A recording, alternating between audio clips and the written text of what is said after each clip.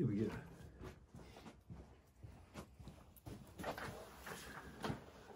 Hello students, I hope you're well. I'm just going to give you a quick video to let you know what I'm going to be doing over the next week. I'm going to create some Zoom accounts. So I'll email that to you. You'll be able to see when I'm having a scheduled meeting.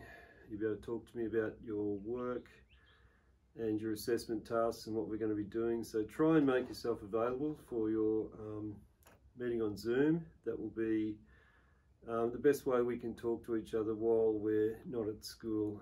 So that'll be for VCE Business Management, VCE Accounting, and also for VCE Vet Small Business.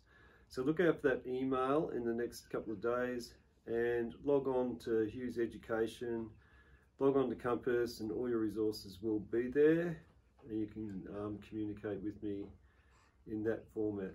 So stay safe, keep working and yeah, let me know if there's anything I can do to help you. Thank you.